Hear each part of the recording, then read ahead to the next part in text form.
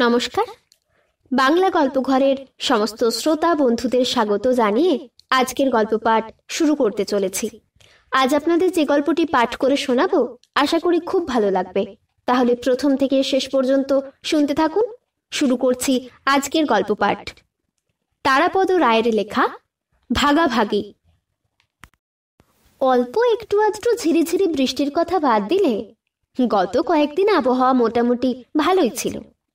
কিন্তু কাল শেষ রাতে জবর সৃষ্টি হয়েছে। এখনও আকাশ মেঘলা। বেলা দুপুর গড়িয়ে গেছে। বোধহয় দেড়টা দুটো বাজে। বেশ অনেকক্ষণ আগে মদনপুর বাজারে হরেকৃষ্ণ পোদ্দারের গদিতে, দেওয়াল ঘড়িতে কার্তিক দেখেছিল। বারোটা প্রায় বাজে। কবজিতে একটা হাত ঘড়ি থাকলে এত ভাবতে হতো না। ঠিক সময়টা যখন ইচ্ছে কার্তিক টুক করে দেখে নিতে পারত। একটা হাতঘড়ি থাকারও কথা ছিল কার্তিকের হাতে। বিয়ের সম্বন্ধ করার সময়ে শ্বশুরমশাই তার বাবাকে বলেছিলেন, জামাইকে সোনার বোতাম, হাতঘড়ি, সাইকেল দেবেন। গয়না তত্ত্ব প্রণামী, নগদ পুঁটুলি, বাসন, বিছানা, নগদ পণ ইত্যাদির সঙ্গে নবজামাতার একটি হাত ঘড়িও প্রাপ্য ছিল। কিন্তু মফস্বলের বাজারে শ্বশুরমশাই হাতঘড়ি সংগ্রহ করতে পারেননি। বাংলা তেরোশো বাহান্ন সালের আশ্বিন মাস। মহাযুদ্ধ মন্নন্তর শেষ। কোনো রকমে ধুঁকতে ধুঁকতে গ্রাম বাংলা উঠে বসার চেষ্টা করছে। জড়া তালি দিয়ে পুরনো জীবনযাত্রা একটু একটু করে ফিরে আসছে সমতল পূর্ব বাংলায়। যুদ্ধের আগে ঘরে আসতো বিলেত থেকে। বিলেত মানে ইউরোপ। যুদ্ধের বাজারে ঘড়ির আমদানি প্রায় বন্ধ ছিল। বাণিজ্যপথের জন্য মোটে নিরাপদ ছিল না সমুদ্রপথ। যুদ্ধ থেকে যাওয়ার পরে এখন বিলেতি জিনিসপত্র অল্প অল্প করে বাজারে আসা আরম্ভ হয়েছে। কিন্তু দূরান্তের গ্রাম, গঞ্জ, মফস্বল শহরের বাজারেও বিলেতি ঘড়ি, ছাতা, হ্যারিকেন ইত্যাদি শৌখিন দ্রব্য ঠিকমতো আসছে না। হয়তো আর আসবেও না। স্বরাজ প্রায় এসে গেছে। তখন দেশের মধ্যে এসব জিনিস তৈরি হবে। ইউনিয়ন জ্যাকের দিন শেষ।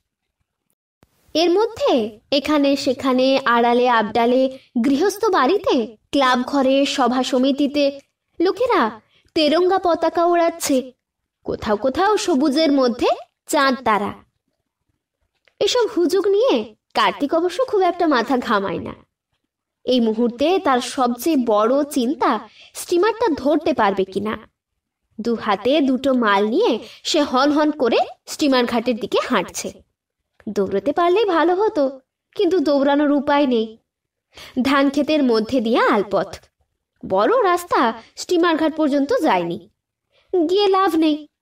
নদীর ধারে রাস্তা কেবলই ভাঙে। ঘাট পর্যন্ত আলপথ দিয়েই যেতে হবে। ভোর রাতের বৃষ্টিতে আলপথটার কাদামাটি পিছল হয়ে রয়েছে। একটু অসতর্ক হলে একটু তাড়াতাড়ি করলে পড়ে যাওয়ার সম্ভাবনা রয়েছে। তাছাড়া এবার বর্ষা খুব জোর হয়েছিল। বর্ষার সময় শামুকগুলো আলপথের ওপরে এসে উঠেছে। যে কোনো সময়ে শামুকের খোলায় পা কেটে রক্তারক্তি কাণ্ড হতে পারে। জুতো পায়ে থাকলে সে ভয় ছিল না। কাদা মাখামাখি হবে ভয়ে মদনপুর বাজারে কার্তিক বিয়ের সময় কেনা প্রায় নতুন ফিতেওয়ালা ক্যানভাসের জুতো জোড়া পায়ের থেকে খুলে হাতের বোঁচকার মধ্যে ভরে নিয়েছে। এখন সাবধানে এই দুর্গম রাস্তা ধরে যতটা তাড়াতাড়ি যাওয়া সম্ভব, তারই চেষ্টা করছে। সারা গায়ে কাদা মেখে কিংবা রক্তাক্ত পায়ে শ্বশুরবাড়ি যাওয়া খুব শোভন হবে না। তাছাড়া দিরাগমনের পরে এই প্রথম কার্তিক শ্বশুরবাড়ি যাচ্ছে। কার্তিকের বাঁ হাতে বিয়ের পাওয়া নীল রঙের টিনের সুটকেস। তার পিঠে লাল সবুজ রং দিয়ে লতা পাতা পদ্ম আঁকা। সুটকেসের গায়ে বেঢপ আকারের বড় একটা পিতলের তালা সিক্স লিভার্স বাক্সের মধ্যে তার নিজের জামা কাপড়, আয়না, চিরুনি। একটা নতুন ধুতি শ্বশুর মশাইয়ের জন্যে আর একটা নতুন শাড়ি শাশুড়ি ঠাকুরনের জন্যে, পুজোর প্রণামী। এদেশে তত্ত্ব দেবার প্রথা খুব চালু নেই, তবে সম্বৎসরের পুজোর সময়ে গুরুজনদের নতুন কাপড় পারলে সাধ্যমতো দেওয়া হয়। কার্তিকের ডান হাতে ছোটখাটো একটা বোঁচকা। বোঁচকার ওপরেই রয়েছে গামছা দিয়ে জড়ানো তার কাপড়ের জুতো জোড়া। গামছাটা একটু নোংরা হবে, তা হোক। শ্বশুর বাড়িতে গিয়ে ভালো করে কেচে নিলেই হবে। এ দুটো ছাড়া মোচকার মধ্যে রয়েছে আরও কিছু মেয়েলি টুকিটাকি জিনিস। মদনপুর বাজারে এসব জিনিস একটু আগেই সে দোকান থেকে ঘুরে ঘুরে কিনেছে। কার্তিকের নববিবাহিতা স্ত্রীর নাম সাবিত্রী। এসব জিনিস সাবিত্রীর জন্যেই কেনা। দু কয়েকদিন আগে তাদের ভুয়াপুর বাজার থেকে সেগুলো কিনে রাখতে পারত, কিন্তু নতুন বউয়ের জন্য কেনাকাটা করায় তার একটু সংকোচ রয়েছে। বাসার লোকেরা, বৌদিরা, কি ভাববে? এবং ভুয়াপুর বাজারের স্টেশনারি দোকানিরা সবাই তাকে কম বেশি তো চেনে। বউয়ের জন্য কিনেছে সেটা বুঝে ফেলবে, হয়তো তা ভেবে হাসাহাসি করবে। অবশ্য বিশেষ কিছু কেলেনি কার্তিক। দুটো চন্দন সাবান, একটা তরল আলতা আর এক কৌটো পাউডার, এক শিশি ফুলের তেল, এছাড়া চার হাত চুলের ফিতে কিনেছে। দোকানদার অবশ্য বলেছিল, তিন হাত হলেই হয়ে যাবে, কিন্তু কার্তিক জানে যে সাবিত্রীর চুল খুব লম্বা। গত আষাঢ় মাসের শেষ দিকে কার্তিকের বিয়ে হয়েছে। বিয়ের পরে সাবিত্রীকে সে খুব বেশি কাছে পায়নি। ভাদ্র মাস পড়ার আগে সামাজিক নিয়ম মেনে তাকে বাপের বাড়িতে পাঠানো হয়েছে। সাবিত্রীকে এখন কার্তিক আনতে যাচ্ছে। পুজো এসে গেছে। আশ্বিন মাস অর্ধেক হয়ে গেছে। কাদামাটি, শামুকের খোলার মধ্যে যতটা সম্ভব দ্রুত লম্বা লম্বা পা ফেলে কার্তিক স্টিমার ঘাটের দিকে এগোচ্ছে। সাবিত্রীর কথা মনে আসায় কার্তিকের মনটা একটু উৎফুল্ল হয়েছে। আজ সন্ধ্যাতেই সাবিত্রীর সঙ্গে দেখা হবে। যদি স্টিমারটা ধরা যায়। কিন্তু একটু আগেই বাজারে একটা অন্য খবর শুনে এসেছে। পয়লা অক্টোবর মানে এই আশ্বিন মাসের মাঝামাঝি থেকেই স্টিমারের সময়টা এক ঘণ্টা এগিয়ে এসেছে। এই স্টিমারটা নদীর ওপারে রেল স্টেশনে কলকাতার ট্রেন ধরিয়ে দেয়। পয়লা অক্টোবর থেকে রেলের টাইম টেবিল নাকি এগিয়ে আসে। আবার গ্রীষ্মের শুরুতে পয়লা এপ্রিলে পিছিয়ে যায়। তা এত খবর পাড়াগাঁয়ের সাধারণ লোক তো রাখে না। কার্তিকেরও জানার কথা নয়। আগে জানলে বাড়ি থেকে আগে বেরোতো। বাজারেও সময় একটু কম খরচ করতো। সামনে স্টিমার স্টেশনটার নাম পটল। আশ্চর্য নাম। হাঁটতে হাঁটতে কার্তিক ভাবতে লাগল, নামটা কেন এমন হলো? এখানে খুব পটল চাষ হয়? এরকম কথা তো কার্তিক জানে না। নাকি এখানকার লোকেরা খুব পটল তোলে? পটল তোলা মানে মরে যাওয়া। সেটা অবশ্য কার্তিক জানে। নদীর এধারে শেষ স্টেশন পটল। এরপরে স্টিমারটা নদীর পার হয়ে ওধারে চলে যায়। ওখানে সিরাজগঞ্জ ঘাট স্টেশন থেকে কলকাতার গাড়ি ধরিয়ে দেয়। কার্তিকের শ্বশুর বাড়িও নদীর ওধারে। স্টিমারে সিরাজগঞ্জ ঘাট স্টেশনে নেমে এক স্টেশন পরে সিরাজগঞ্জ বাজার স্টেশনে ঢোকার একটু আগে পালপাড়া। সেখানেই সাবিত্রীর বাপের বাড়ি। পালপাড়ায় ট্রেনে না গেলেও চলে। নদীর ঘাট থেকে খুব বেশি রাস্তা নয়, মাত্র কয়েক মাইল হবে। পাড়া গাঁয়ের কথায় দেড় দুক্রোশ। রেল লাইন ধরে কাছের পাটাতনে পা ফেলে ফেলে বেশ যাওয়া যায়। এ লাইনে ট্রেনে যাতায়াত কম। একটা মেলগাড়ি আর একটা প্যাসেঞ্জার ট্রেন যাতায়াত করে। তবে মালগাড়ি যাতায়াত আছে। এদিক থেকে পাট আর মাছ যায় কলকাতায়। কলকাতা থেকে ডাল, মশলা, স্টেশনারি আর বেনের দোকানে জিনিস কাপড় চোপড়ও আসে। তবে কোনো ট্রেনই তাড়াতাড়ি চলে না। অতি ধীর, স্লথ গতি। জলের দেশে নরবরের ট্র্যাকে জোরে চলা বিপদ। এখন স্টিমারটা ধরতে পারলে হয়। তারপর ট্রেন না থাকলেও পায়ে হেঁটে যাওয়া যাবে। মুশকিলটা হয়েছে এই যে এই ধান ক্ষেতের মধ্যে আলের রাস্তা থেকে ঘাটটা দেখা যায় না। সামনে ডান দিকে মিয়াবাগান গ্রাম। নারকেল, সুপুরি, আম, কাঁঠাল গাছ গাছালিতে ছাওয়া। মাঝে মধ্যে ছোট বড় টিনের চালা, খড়ের ঘর একপাশে পুরনো মসজিদ। মিয়াবাগান গ্রাম নদীর বাঁকটাকে পুরো আড়াল করে রেখেছে। একদম নদীর পার পর্যন্ত না পৌঁছলে ঘাটটা ভালো করে চোখে পড়ে না। তবে নদীর পার খুব কাছে এসে গেছে। পথটা প্রায় মেরে এনেছে কার্তিক। এখানে নদীর বাঁকের মুখে একটু চাপা। অল্প একটু এগিয়ে গিয়ে এই নদী ভীষণ চওড়া। একেবারে অকুল পাথার বলা চলে। বর্ষায়, বর্ষার পরে ভালো করে তাকালেও ওইদিকে দিগন্ত চোখে পড়ে না। শুধু ঢেউ আর ঘোলা জল। ধান ক্ষেতের ওপর দিয়ে পাখির ঝাঁক উড়ে এসে আলপথে বসেছে। ক্ষেতের মধ্যে জল জমে আছে বলে সেখানে নামতে পারছে না। অধিকাংশই গাং শালিক প্রচুর কিচিরমিচির করছে। পথচারীদের তারা ভয় করে না। কার্তিককে আসতে দেখে একটু সরে গিয়ে তাদেরকে পথ করে দিল। নদীর দিক থেকে জোরে বাতাস আসছে। তাতে জলের গন্ধ মেশানো। দুপাশের ধান খেতে হাওয়া মাতামাতি করছে। ধানে এখনও মঞ্জুরি আসেনি। কিন্তু নতুন শীষে সবুজের মধ্যে সোনার আভাস লেগেছে। দিনটা ভারী সুন্দর। এখনও একটু ঠান্ডা ভাব আছে। আকাশে সূর্য, মেঘে ঢাকা, তবে মেঘে তেমন ঘন কালো নয়। আশেপাশে এলোমেলো কিছু সাদা মেঘও এসে জুটেছে। ঘুড়ি কাটাকাটির মতো আকাশে সাদা, কালো, মেঘে কাটাকাটি করছে। মিয়াবাগানের মসজিদের মাথায় স্টিমারের চোঙার ধোঁয়া দেখা যাচ্ছে। স্টিমারটা এখনও নিশ্চয়ই ঘাটের খুব কাছে, কিন্তু ঠিক অনুমান করা যাচ্ছে না, ছেড়ে যাচ্ছে না ঘাটে এসে ভিড়েছে। একটু পরেই সংশয়ের অবসান হলো। নদীর ধারে কাছে পৌঁছে কার্তিক বুঝতে পারল, স্টিমারটা ছেড়ে গেছে। হুসুস করে জলে ঢেউ তুলে ফেনা কাটাতে কাটাতে মেঘলা আকাশে আরেক পোঁচ ধোঁয়ার আস্তর ছড়িয়ে স্টিমারটা বাঁকের মুখে আড়াল হয়ে যাচ্ছে। তবু আরও একটু জোর কদমে স্টিমার ঘাটে কার্তিক যখন এসে পৌঁছলো, তখন ত্রিসীমানায় জলযানটার চিহ্ন পর্যন্ত নেই। এমনকি আকাশের ধোঁয়া আর জলের মধ্যে ফেনার দাগ সম্পূর্ণ মিলিয়ে গেছে। এবার তাহলে বাড়ি ফিরে যেতে হয়? কিন্তু ঘাট পর্যন্ত এসে বাড়ি ফেরার ইচ্ছে কার্তিকের মোটেই নেই। বাসায় দুই বউ দিদি আছে কার্তিক ফিরে গেলে তারা খুব হাসাহাসি করবে। বলবে শ্বশুর বাড়ি থেকে বউ নিয়ে আসার মুরদ আমাদের ঠাকুরপোর নেই। না হলে কেউ স্টিমার ফেল করে? বৌদিদিদের উপহাসের ব্যাপারটা রয়েছে, কিন্তু সবচেয়ে বড় কথা হলো, কার্তিকের মনের সুতোয় এখন জোর টান দিয়েছে সাবিত্রী। এই দেড় মাসের বিরহ কালে এমনটি আর কখনো অনুভব করেনি কার্তিক।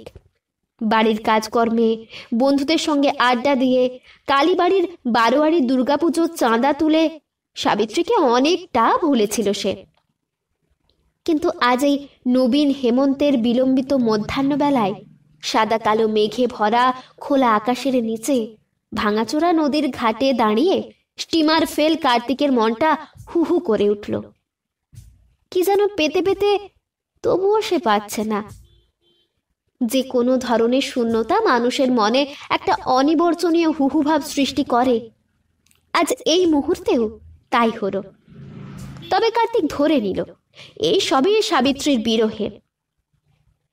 এখানে একটু আগে শূন্য শব্দটা অবশ্য ঠিকমতো ব্যবহার হয়নি। স্টিমার ছেড়ে গেলেও স্টিমার ঘাট শূন্য হয়ে যায় না। যেমন স্টেশনে ট্রেন না থাকলে স্টেশনকে শূন্য বলা যায় না। স্টেশন তখনও ফাঁকা থাকে না। স্টিমার ঘাটও আসলে স্টেশন, স্টিমার স্টেশন। স্টিমার ঘাটে না থাকলেও, ভিড়, ব্যস্ততা, হট্টগোল না থাকলেও লোকজন, দোকানপাট থাকে, ঘাটের কর্মচারীরা থাকে। স্টিমারটা ঘাট থেকে ছেড়ে গেছে বুঝবার পর নদীর ঘোলা জলের দিকে তাকিয়ে কিছুক্ষণ থমকিয়ে দাঁড়িয়েছিল কার্তিক। কয়েকটা বক শাড়ি বেঁধে নদীর ওপার থেকে এদিকে উড়ে আসছে। সত্যিকারের অকুল পাথার পাখিগুলো কেমন অনায়াসে পার হয়ে আসছে। ধপধপে সাদা বকগুলো খুব নিচু হয়ে উড়ে আসছে। কম্পমান স্রোতের চূড়ায় দ্রুত অথচ অস্পষ্ট ছায়া তীরের দিকে এগিয়ে আসছে। নদীর জলের ডান দিকে ঘাটের সঙ্গে লেগে ভেসে আসছে একটা গাধা বোট। সেটাই স্টিমার স্টেশনের প্ল্যাটফর্মের কাজ করে। গাধা বোটের ওপরে স্টিমার কোম্পানির অফিস। টিকিট কাউন্টার, বড়বাবুর ঘর, মালবাবুর টেবিল। সারেংদের বিশ্রাম কক্ষ। মহিলা ও উচ্চ শ্রেণির যাত্রীদের প্রতীক্ষালয়। এছাড়াও একটা চায়ের দোকান, পান বিড়ির দোকানও রয়েছে। এখন স্টিমার ঘাট ফাঁকা। এমনিতেই পটল স্টেশনে যাত্রী যাতায়াত খুব বেশি নেই। মালপত্রে ওঠানামা করে। তাছাড়া একটু আগেই জাহাজ ছেড়ে চলে গেছে। এ সময়ে কোনো ব্যস্ততা নেই। গাধা বোটের পাটাতনে কয়েকজন কুলি জাতীয় লোক গামছা বিছিয়ে শুয়ে পড়েছে। চায়ের দোকানে এক জোড়া বষ্টম বষ্টমী বোধ হয় একটু আগেই স্টিমারটা থেকে নেমেছে। চায়ের গ্লাসে এস বিস্কুট চুবিয়ে চুবিয়ে খাচ্ছে। গাধাবোটের সামনে নদীর চরের ওপরে একটা ছোটখাটো সাময়িক বাজার। নদী যেমন নড়াচড়া করে, শীতে, গ্রীষ্মে, বর্ষায় এগিয়ে পিছিয়ে যায়, প্ল্যাটফর্ম সমেত গাধাবোটও সঙ্গে সঙ্গে চলে। অসুবিধে এই ঘাটের দোকানগুলোর। গাধাবোটের সঙ্গে সঙ্গে স্থান বদল তাদের করতে হয়। দোকানের সংখ্যা বেশি নয়।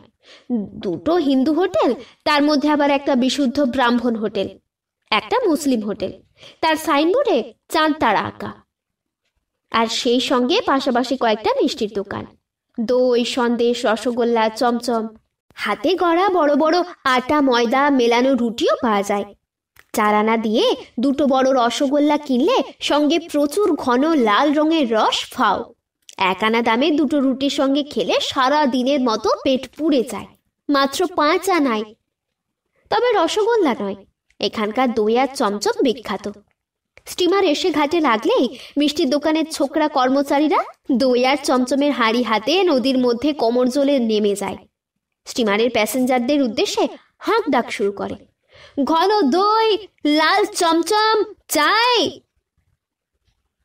গাধাবোট পেরিয়ে এসে কার্তিক ভোরের হোটেলগুলো ছাড়িয়ে সুরজলাল তেওয়ারির মিষ্টির দোকানের সামনের কাঠের বেঞ্চটায় বসে পড়ল। গাধাবোট পেরিয়ে এসে কার্তিক ভাতের হোটেলগুলো ছাড়িয়ে সুরজলাল তেওয়ারির মিষ্টির দোকানের সামনের কাঠের বেঞ্চটায় বসে পড়ল। মিষ্টান্ন ব্যবসায় সুরজলালের সুনাম আছে। সুদূর বিহারের ছাপড়া জেলা থেকে এসে জ্ঞাতি গোষ্ঠী সমেত তেওয়ারিরা পূর্ববঙ্গের গঞ্জে, বাজারে, বন্দর শহরে একশো বছর ধরে মিষ্টির ব্যবসা করছে। সুরজলাল কার্তিককে চেনে কার্তিকের ছোটবেলা থেকে। কার্তিকের বাবা দশরথ সরকারের চিনি, গুড়, বাতাসা, কদমার দোকান আছে ভুয়াপুর বাজারে। ভুয়াপুর বনেদি গ্রাম, বাজারটাও বেশ বড়। সেই বাজারে খুব পুরনো দোকান সরকারদের। প্রায় পাঁচ সাত পুরুষের ব্যবসা সুরজলালের দোকানে মাসে প্রায় দুই আড়াই মন চিনি লাগে। আগে পুরোটাই কেনা হতো ভুয়াপুর বাজারে সরকারদের দোকান থেকে। এখন নদীর ওপারে সিরাজগঞ্জ পাইকারি বাজারে গেলে মন প্রতি অনেকটা সাশ্রয় হয় নৌকা ভাড়া দিয়েও। কিন্তু সরকারের সঙ্গে এখনও সামাজিক সম্পর্ক রয়েছে সুরজলালের। এই তো, সেই দিন। কার্তিকের বিয়েতে দই, রসগোল্লা দিয়েছিল সুরজলাল। শুধু তৈরি করার খরচায় এক পয়সাও লাভ নেয়নি। তদুপরি কার্তিকের বইয়ের মুখ দেখেছিল কোমরে পরবার রূপোর এক ছড়া ভারী হিন্দুস্তানি গোট দিয়ে। কিন্তু সুরজলাল আজ দোকানে নেই, সে দেশে গেছে, ভাতিজার বিয়েতে। এ কথা শুনে বিজ্ঞের মতো কার্তিক বলল, আশ্বিন মাসে আবার বিয়ে কিসের? সুরজলালের দোকানের দায়িত্বে রয়েছে হালুইকর গদাধর ঘোষ। সবাই তাকে ঠোঁট কাটা গদাই বলে। সে খুবই মৃতভাষী সে ঠোঁট কাটা বিশেষণ পেয়েছে? সত্যি তার ওপর পাটির ডান ঠোঁটটা মাঝামাঝি বরাবর কাটা বলে। কার্তিকের গোলমেলে প্রশ্ন শুনে ঠোঁট কাটা গদাই বলল, পশ্চিমারা আশ্বিন মাস্টাস এসব মানে না। এ অঞ্চলে বিহারি সমেত সবাই যারা হিন্দি বলে, সকলেই পশ্চিমা। শ্বশুরবাড়ির জন্য এক হাঁড়ি দই আর এক হাঁড়ি চমচম কিনবে কার্তিক।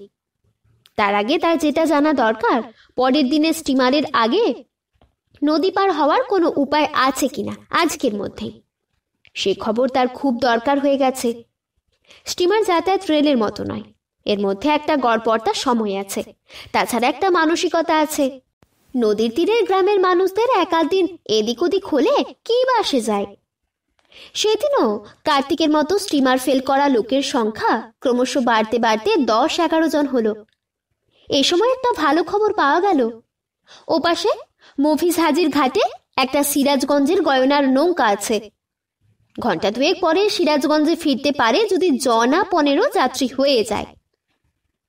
মাফিজ হাজির ঘাট এখান থেকে সিকিমাইল হবে।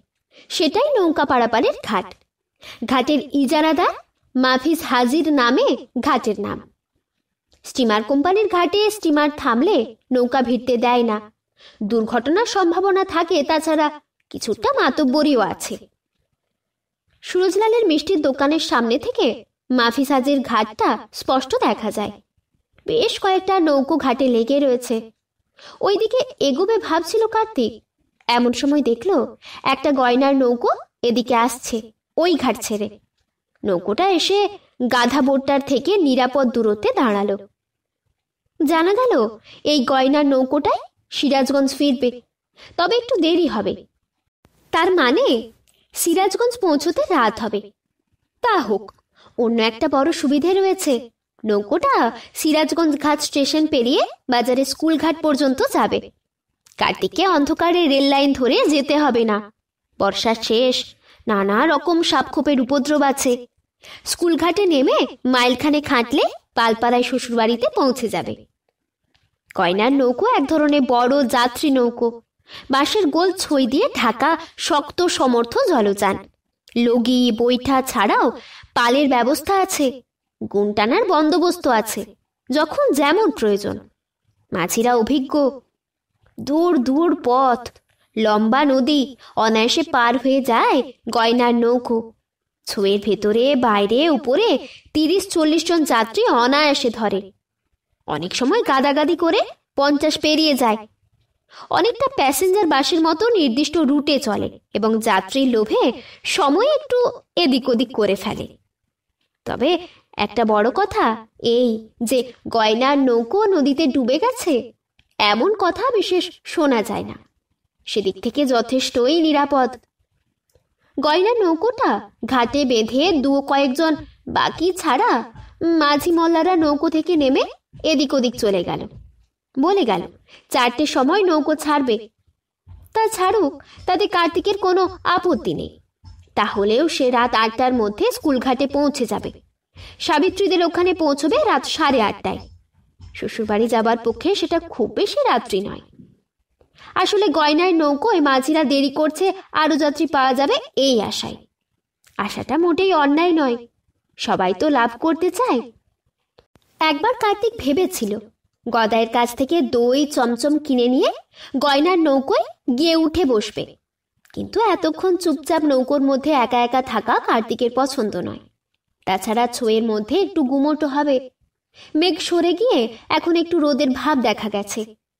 আশ্বিন মাস হলেও এই পরন্ত বেলার তাপটা চড়া ঝাঁঝের।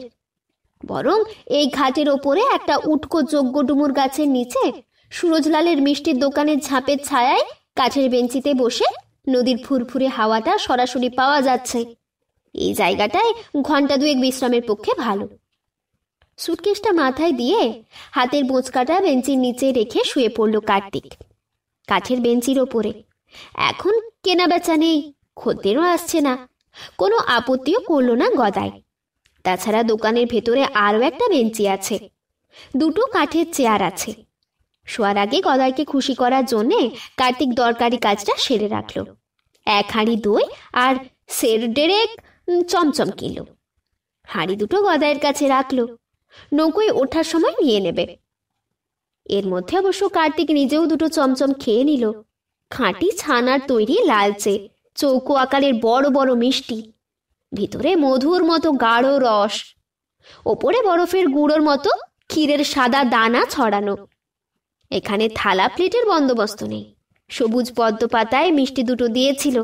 পাতার উপরে চুঁয়ে পড়া রস আর ক্ষীরের গুঁড়ো আঙুল দিয়ে চেটে পুটে খেয়ে কার্তিক এক গ্লাস জল খেলো। তারপরে সুটকেসে মাথা দিয়ে শুয়ে পড়ল। এখানে অবশ্য একটা ভালো যাবার জায়গা ছিল কার্তিকের। ছয় মাস আগেও ছিল। ইচ্ছে করলে এখনও যাওয়া যায়। ইচ্ছে করছেও কিন্তু যাওয়াটা ঠিক হবে না। বিয়ের পরে এখন আর সেখানে যাওয়া উচিত নয়। নদীর ঘাট থেকে একটা পায়ের চলার পথ। এই মিষ্টির দোকানগুলোর পাশ দিয়ে উলুঝোপ আর কাশবনের মধ্য দিয়ে উঠে গেছে ইউনিয়ন বোর্ডের কাঁচা রাস্তায়। ঠিক কাঁচা রাস্তার মুখোমুখি শ্মশানকালীর থান। মন্দির টন্দির নয়, খড়ের চালা ঘরে মাটির কালী প্রতিমা। দশ গায়ের লোক এখানে এই নদীর তীরে মরা পোড়াতে আসে। তাদের জন্য এই বারোয়ারি থান। থানের চালাঘরের মধ্যে মা কালীর প্রতিমার দুপাশে কয়েকাটি খড় বিছানো থাকে। শ্মশান বন্ধুরা দরকারে শুতে পারে। শ্মশানকালীর থান একটা প্রাচীন পঞ্চবটির নিচে। ওই পঞ্চবটি নাকি বহু যুগ ধরে নদীর ভাঙন ঠেকিয়ে চারিদিকে গ্রামগুলোকে রক্ষা করে আসছে। কবে নাকি ওখানে পাঁচটা গাছ ছিল? অসত্য বট, অশোক, এইসব। এখন শুধুমাত্র একটা আমলকি গাছ আছে। আর একটা কোমর ভাঙা, মুখ থুবড়ে পড়া বেলগাছ চারপাশে নিচেটা ঘিরে বন তুলসীর জঙ্গল। শ্মশানকালীর থানের গা ঘেঁষে ছোট টিনের দোচালা তার গায়ে নোটিশ বোর্ড। গাঁজা ভাং ও আফিমের দোকান। Proprietor Hareram Saha. License number একশো চুয়াত্তর বাই তেত্রিশ। ময়মনসিং হরেরামবাবু অবশ্য বললেন, তাদের এই লাইসেন্স পুরুষানুক্রমিক দুশো আড়াইশো বছরের সেই পচার আমল থেকে। সেই থেকে হোক আর যাই হোক। হরেরামবাবু তার দোকানে গাঁজা ভাং ছাড়াও কাঠের আলমারির মধ্যে দু চার বোতল দিশি মদ রাখেন। দু এক বোতল আসল বিলিতিও, Johnnie Walker, black and white নদীপথে সাহেব বাবু সাবু যাতায়াত করেন। কখন কার কি দরকার পড়ে কে জানে। কেউ যদি হরেরামকে প্রশ্ন করে, আপনার মদ বেচার লাইসেন্স আছে? হরেরাম বলেন, আমার গাঁজার লাইসেন্স আছে, মদ গাঁজার মধ্যেই পড়ে। কিন্তু এর চেয়ে বড় কথা শ্মশানকালীর থানের ওপাশে, পুরনো পঞ্চবটির নিচে, হরেরামের কয়েকটা চালা ঘর রয়েছে। সেগুলোও নাকি নবাবী আমলের। তখনও নাকি এগুলো তাবু ঘর ছিল। রায়বাগান রাজভল্লভ খানের এক খাজানজি গোমস্তা ছিলেন হরেরামের এক পূর্বপুরুষ। একদা ঘোর দুর্দিনে পানসি নৌকায় করে তিনি পাঠিয়ে দিয়েছিলেন তাবু সুন্দরীদের এই সুদূর যমুনা তীরে, গঙ্গা তীর থেকে। না হলে সুন্দরীদের মারাঠারা নিয়ে চলে যেত। সেই থেকে সুন্দরীদের নিবাস এখানে। নদীপথে রাজারাজরা বনি কামলা ফিরিঙ্গি, হিন্দুস্থানি হরেক রকম যাত্রী আসে যায়। দশকের পর দশক পেরিয়ে যায়, শতাব্দী পার হয়ে যায়। সবাই জানে, এখানে এই নদীর বাঁকে জলপরীদের আস্তানা। যমুনার বুকে ভাসমান জলযান থেকে গভীর রাতে নুপুর নিকন আর তবলার বোল শোনা যায়। আগে নাকি খুবই রমরমা ছিল, চারিদিকে সুখ্যাতি ছিল এখানকার সুন্দরীদের। এখন খুবই পড়তি অবস্থা, লোকজন নদীপথে যাওয়া আসা কমই করে। পাশের চালাঘরগুলো অর্ধেকই ফাঁকা। সব শুদ্ধ সাত ঘর চালু আছে এখনও। এরই এক ঘরে থাকে বুলবুল। বিয়ের আগে কখনো কখনো রাত বিরেতে বুলবুলের ওখানে থেকেছে কার্তিক। কারবারের চিনি গুড় কেনাবেচা সেরে এগঞ্জ সেগঞ্জ থেকে ফেরবার পথে বুলবুলের ওখানে থেকে গেছে দু একদিন। অনেকবার এসে এসে বুলবুলের সঙ্গে শুধু শারীরিক সম্পর্কই নয়, একটা বন্ধুত্বও গড়ে উঠেছিল কার্তিকের। বুলবুলের রং ফর্সা নয়, চোখ দুটো ছোট ছোট। কিন্তু মুখটা খুব ঢলঢলে, চলন বলনও মাদকতায়। বিশেষ করে তার হাতের লাল শাঁখা, কপালের সিঁদুর, পায়ে আলতা আর পানের রসে রাঙানো ঠোঁট, সবে মিলে ডগমগ বুলবুল। খারাপ মেয়ে হলেও বুলবুলের একটা আব্রুবোধ আছে, মাথায় ঘোমটা না দিয়ে ঘরের বাইরে সে আসে না। শাঁখা, সিঁদুর, ঘোমটা, এসব নিয়ে অন্য ঘরের মেয়েরা বলে, ন্যাকামি। তা ন্যাকামি হলেও সেটা বুলবুলকে মানায়। সুরজলালের দোকানের বেঞ্চিতে শোয়ার আগে কার্তিক একবার বুলবুলের কাছে যাওয়ার কথা ভেবেছিল, কিন্তু বিয়ের আগে থেকে সে আর এদিকে মারায়নি। আর এখন সাবিত্রীকে আনতে যাওয়ার পথে বুলবুলের ঘরে যাওয়াটা উচিত হবে না। সুটকেসটা মাথায় দিয়ে নদীর ঝিরিঝিরি বাতাসে একটু সুখতন্ত্রার মতো এসেছিল কার্তিকের। একটা দরজা ধরে একটি মেয়ে হাসি মুখে দাঁড়িয়ে আছে। মেয়েটির মুখের আদল অনেকটা সাবিত্রীর মতো, আবার অনেকটা বুলবুলের মতো। হঠাৎ ঘুমের চটকাটা কেটে যেতে কার্তিকের স্বপ্নটা উবে গেল। ঘুম থেকে উঠে কার্তিক বুঝতে পারল যে গভীরভাবে ঘুমিয়ে পড়েছিল সে, এবং অন্ততপক্ষে ঘণ্টা খানেক ঘুমিয়েছে। এই সময় তার খেয়াল হলো, মাথার নিচে সুটকেসটা ঠিকই আছে, কিন্তু বেঞ্চের নিচে বোঁচকাটা নেই। কার্তিক চারিদিকে তাকাতে লাগল। গদাইকেও দেখতে পাচ্ছে না। এমন সময় এক মাথা সমান উঁচু কাশচোপের ভিতরে রাস্তা দিয়ে ব্যস্ত সমস্ত ভাবে কোথা থেকে গদা এলো। এসে বলল, মাঠে গিয়েছিলাম। মাঠে মানে প্রকৃতির ডাকে? গদাইকে সরাসরি কার্তিক বলল, আমার বোচকাটা কি হলো? গদাই তো আকাশ থেকে পড়ল, তোমার সঙ্গে বোচকা ছিল একটা? কই? দেখেছি বলে তো মনে পড়ছে না। এখানে এই দোকান পর্যন্ত এনেছিলে? কথা না বাড়িয়ে কার্তিক সুরজলালের দোকান থেকে উঠল। গদাইকে বলে গেল, দই মিষ্টি রইল, নৌকায় ওঠার সময় নিয়ে নেব। সুটকেসটা হাতে হন হন করে হেঁটে কার্তিক গিয়ে উঠল ইউনিয়ন বোর্ডের রাস্তায়। সেখান থেকে পঞ্চবটির পাশ দিকে এগিয়ে একেবারে বুলবুলের ঘরের দরজায়। এখানেই সোজা চলে আসা উচিত ছিল। গদায়ের দোকানে থাকাটাই ভুল হয়েছে। অত কষ্ট করে খুঁজে খুঁজে জিনিসগুলো কেনা সব চুরি হয়ে গেল। বুলবুলের ঘরের দরজা বন্ধ। ভেতরে কেউ আছে নাকি? এতদিন পরে এসে কার্তিকের একটু অস্বস্তি হচ্ছিল। তবু ভরসা করে কাঠে দরজার ওপরের দিকে লোহার শিকল ধরে একটু নাড়া দিল। দুবার নাড়া দিতেই ঘুম চোখে অবিন্যস্ত শাড়ি গোছাতে গোছাতে ভেতর থেকে দরজা খুলল বুলবুল। প্রথমে কার্তিককে ঠাওর করতে পারেনি বুলবুল। তারপর চোখ কচলিয়ে সামনে কার্তিককে দেখে হাসি মুখে তাকে হাত ধরে ঘরের ভেতরে নিয়ে দরজা বন্ধ করে দিল। ঘরের মধ্যে সুটকেসটা নামিয়ে রেখে কার্তিক বলল, এই অবেলায় বিকেলে ঘুমোচ্ছিলে? খিলখিল করে হেসে বুলবুল বলল, আমাদের আবার সকাল, বিকেল, দিন রাত। ছেঁচা বাঁশের বেড়ার ফাঁক দিয়ে অল্প অল্প আলো আসছে। কিন্তু বাইরে থেকে এসে কার্তিকের ঘরের ভেতরটা আবছায়া মনে হচ্ছিল। বুলবুল আবার বিছানায় গিয়ে শুয়েছে। বুলবুল কি একটু রোগা হয়ে গেছে? বিছানায় বুলবুলের পাশে বসতে যাচ্ছিল কার্তিক। বুলবুল জিজ্ঞাসা করল, বউ কেমন হয়েছে? তা কি আর বলবে কার্তিক? চুপ করেই রইল। তার বিয়ের কথা নিশ্চয় অন্য কারোর কাছে শুনেছে বুলবুল? কার্তিকের জবাব না পেয়ে বুলবুল পাশ ফিরে শুতে শুতে কার্তিকে আবার প্রশ্ন করল, এখন কোথায় যাচ্ছ? গোপন করার মানে হয় না। সাবিত্রীকে নিয়ে ফেরবার পথে ঘাটেই হয়তো বুলবুল দেখতে পাবে। তাই বলল, বউকে আনতে শ্বশুর বাড়ি যাচ্ছি, সিরাজগঞ্জে। বুলবুল কি বুঝলো তা জানি না। কার্তিককে বলল, তুমি বিছানা থেকে নেমে ওই মোড়াটায় গিয়ে বসো। আমি একটু হাত পা ছড়িয়ে ঘুমিয়ে নি ঘুমে চোখ জড়িয়ে আসছে। বোকার মতো কার্তিক বিছানা থেকে উঠে এসে মোড়াটায় বসল। বুলবুল পাশ ফিরে ঘুমোতে লাগল। একটু পরে ঘরের মধ্যের অন্ধকারটা চোখে সয়ে যেতে কার্তিক চেনা ঘরটা চারিদিকে দেখতে লাগল। এই কয় মাসে কিছু পরিবর্তন হলো কিনা বুলবুলকেও খুঁটিয়ে খুঁটিয়ে দেখতে লাগল। হঠাৎ কার্তিকের নজরে গেল তাকের ওপরে রাখা কয়েকটা জিনিসের দিকে। বাঁশের বেড়ার সঙ্গে কাঠের তাক। তার এক পাশে মাঝারি আকারের একটা আয়না। কার্তিক দেখতে পেল, কাঠের তাকের ওপরে রাখা হয়েছে দুটো চন্দন সাবান, আলতা, তেল, চুলের ফিতে। যা কিছু সে কিনেছিল সাবিত্রীর জন্যে সবই এখানে পৌঁছে গেছে। এমনকি তার ব্যবহারের গামছাটাও, যেটা দিয়ে বোঁচকা বাঁধা হয়েছিল। সেটাও বাঁশের বেড়ায় বাতার ফাঁকে গোঁজা রয়েছে। শুধু নতুন জুতো জোড়াটা নেই, যে এগুলো দিয়ে গেছে জুতো জোড়া সে নিশ্চয়ই তার নিজের ব্যবহারের জন্য নিয়ে গেছে। কার্তিক উঠে গিয়ে তাকের থেকে জিনিসগুলো হাত দিয়ে নামিয়ে পকেটে পুড়ে নিল। গামছাটাও নিল। সুটকেসটা নিয়ে বেরোতে যাচ্ছিল। একবার পিছনে ফিরে বুলবুলের দিকে তাকালো।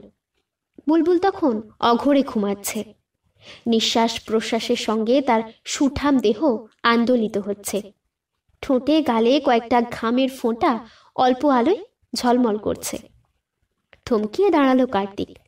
তারপর তাকের কাছে গিয়ে পকেট থেকে বার করে একটা চন্দন সাবান আলতার শিশিটা সেখানে রেখে দিল।